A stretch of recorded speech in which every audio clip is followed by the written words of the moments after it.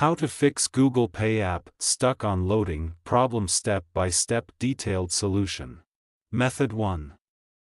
Check your internet connection. Make sure that you have a strong and stable internet connection. You can do this by trying to access other websites or apps on your device. If you are not able to connect to the internet, try restarting your router or modem. Method 2. Restart your phone.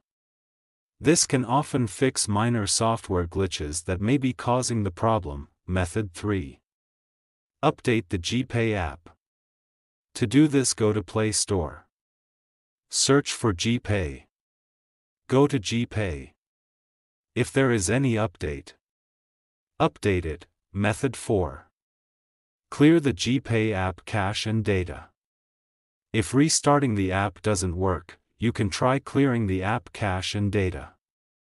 This will remove any temporary files that may be causing the error.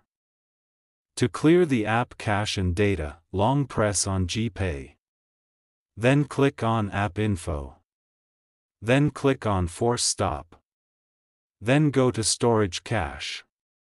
Then click on Clear Cache.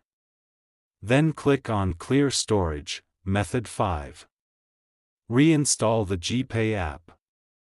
If you have tried all of the above steps and the error is still persisting, you can try reinstalling the GPay app. This will remove the app completely and then install it again from the App Store.